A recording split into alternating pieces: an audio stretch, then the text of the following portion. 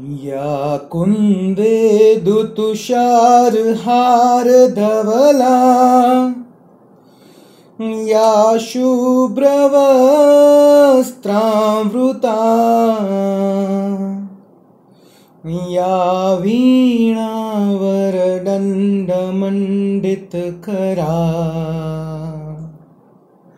या श्वेतपद्मासना या ब्रह्माच्युत शङ्कर प्रभृतिभिः देवै सदा वन्दिता।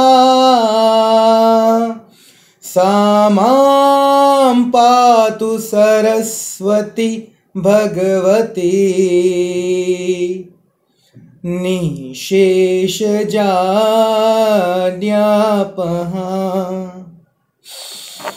हे hey, नमस्कार दोस्तों मैं Rishabh Gautam the law of attraction coach and motivational speaker में स्वागत करता हूँ आप सबका आज के इस वीडियो में। दोस्तों आज के वीडियो में मैं आप लोगों के साथ ट्रिपल फाइव मेथड के बारे में बात करने वाला हूँ। सिखाने तो वाला हूँ लेकिन जो आपने समझा है ट्रिपल फाइव को कुछ एडिशनल बोनस देने वाला हूँ कुछ टिप्स देने वाला हूँ कि कैसे गारंटेड फाइव डेज़ में आप आपके डिज़ायर को मैनिफेस्ट कर पाएँगे।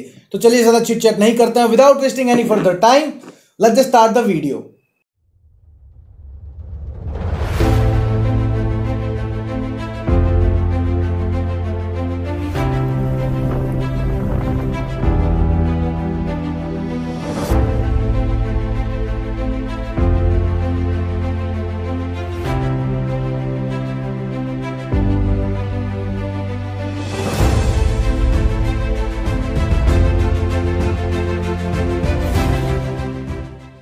तो मेरे प्यारे दोस्तों ट्रिपल फाइव मेथड या कह लो मैनिफेस्टिंग रिचुअल ये क्या है? तो ये स्क्रिप्टिंग से ही बनी हुई एक शाखा है, आप समझ सकते हैं। जैसे आप जर्नलिंग करते हैं, आप आपकी स्टोरी लिखते हैं, इसी प्रकार से एक सिंगल अफर्मेशन को आप 55 टाइम्स 5 डेज़ तक लिखेंगे कंटिन्यूसली एक भी दिन स्किप किए बिना। तो ये कंसेप्ट है ट्रिपल फाइव मेथड का। अब ट्रिपल फाइव यानी पाँच बार ही क्यों लिखना है? थ्री टाइम्स भी होता है, लेकिन पाँच बार ज़्यादा सिग्निफिकेंट क्यों है? क्योंकि उसके पीछे रीजन है न्यूमरोलॉजी में नंबर फाइव को ट्रांसफॉर्मेशन का नंबर कहा गया है। यानी कि आप ट्रांसफॉर्म कर रहे हो उस पाथ पे, इसलिए हम फाइव का यूज़ कर रहे हैं इस चीज़ में, इस रिचुअल में। अब बात करते हैं कि ये रिचुअल कौन परफॉर्म कर सकता है? कोई भी इंसान इस रिचुअल को परफॉर्म कर सकता है, चाहे आप बिगेनर हो, चाहे आप इंटरमीडिएट हो, चाहे आप एक्सपर्ट हो। कोई भी इंसान अगर लॉ ऑफ़ अट्रैक्शन शुरू कर रहा है तो मेरे हिसाब से ये पहली एक्सरसाइज उस इंसान को करनी चाहिए एज अ बिगिनियर अब जो भी चीज़ को मैनिफेस्ट करना चाहते हो, सबसे पहले उसका गोल पिक्चर आपके जहन में, आपके दिमाग में क्लियर कर लो कि आप क्या मैनिफेस्ट करना चाहते हो। तो हम एग्ज़ाम्पल के साथ शुरू करते हैं कि मैं मैनिफेस्ट करना चाहता हूँ दस हज़ार रुपए आने वाले पाँच दिनों में।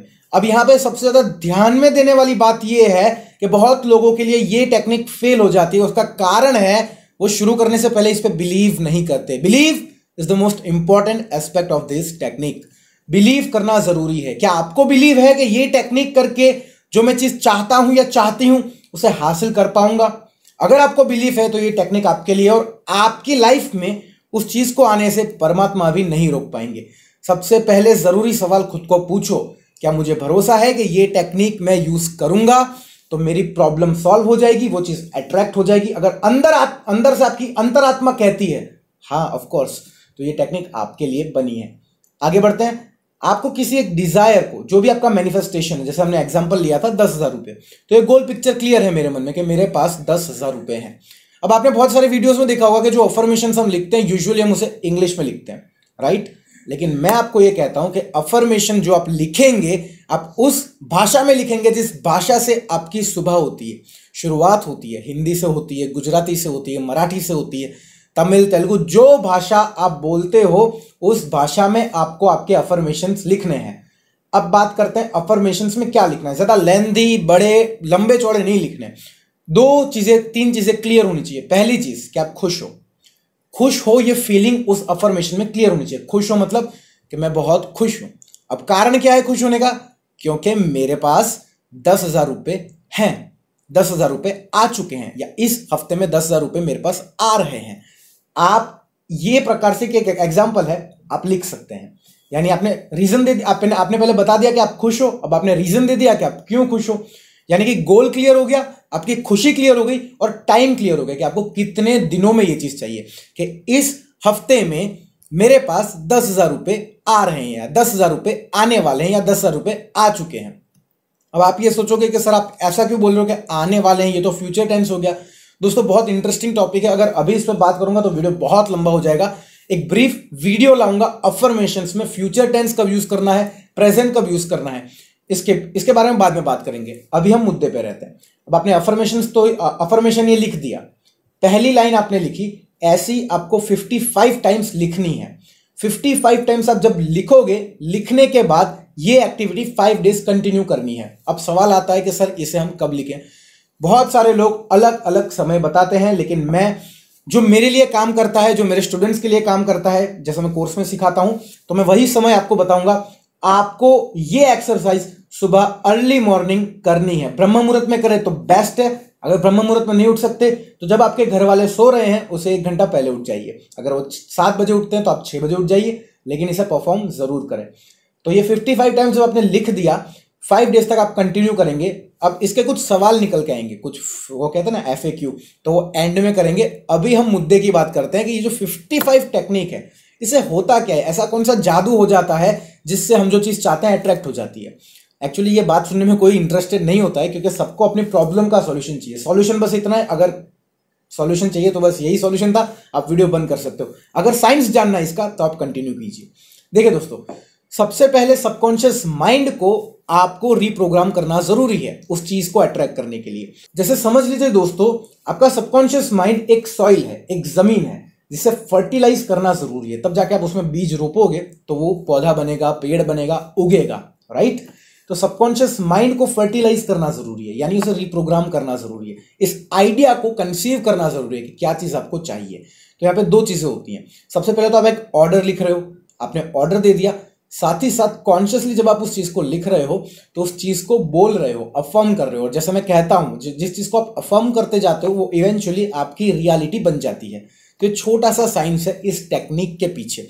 एक्चुअली अगर मैं बताने जाऊँ तो घंटों घंटों लेक्चर दे सकता हूँ, लेकिन आपको वो लेक्चर अभी, उस लेक्चर की आवश्यकता नहीं है। आपको बस इतनी आवश्यकता है कि भरोसा मानिए, जिस भी चीज़ को आप मैनिफेस्ट करना चाहते हो, पहले छोटी चीज़ से शुरुआत कीजिए। फाइव डेज़ ट्राई कीजिए गारंटीड आपको रिज़ल्ट मिल जाएँगे, उसके बाद आप थोड़ा गोल बड़ा कीजिए। मैंने क्यों एक लाख रुपए नहीं कहा, मैंने दस हज़ार रुपए का ये एग्ज़ाम्पल आप हर जगह अप्लाई कर सकते हो। चाहे आप रिलेशनशिप मैनिफेस्ट कर रहे हो तो शुरुआत किसी छोटी चीज़ से करिए। अगर क्रश को मैनिफेस्ट करना चाहते हो तो छोटी चीज़ से शुरुआत कीजिए। स्टडी में करना चाहते हो तो छोटी चीज़ से शुरुआत कीजिए।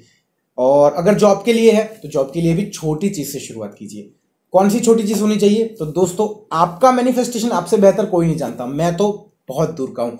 तो आप देखिए आपका मैनिफेस्टेशन क्या है, उसके अकॉर्डिंग आप शुरू करें। अब दोस्तों बात आती है F A Q frequently asked question तो सर, क्या हम इसे पेन से लिखें या पेंसिल से लिखें?